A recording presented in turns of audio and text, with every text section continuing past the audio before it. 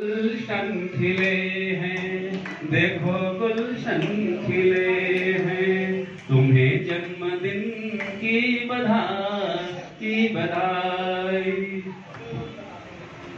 बोलेंगे happy birthday to you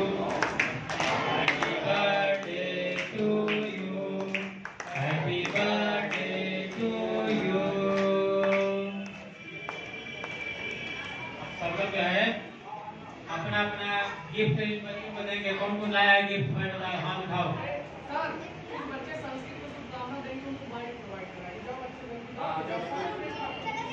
कौन कौन लाया भाई गिफ्ट बच्चों